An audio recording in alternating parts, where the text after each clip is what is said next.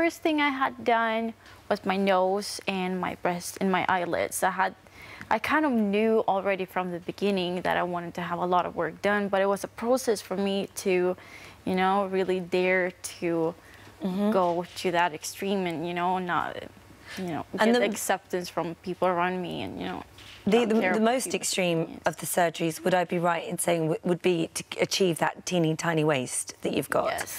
Um, and in order to achieve that, you've had six ribs removed. Yes. So actually, you know, now it's go to the extent that for me, it's no longer about just creating a certain look. I don't do this for vanity. For me, I see myself as a science project. I am basically a pioneer in the beauty industry. I'm pushing the beauty industry forward. I was the first one in the world to remove six on my ribs.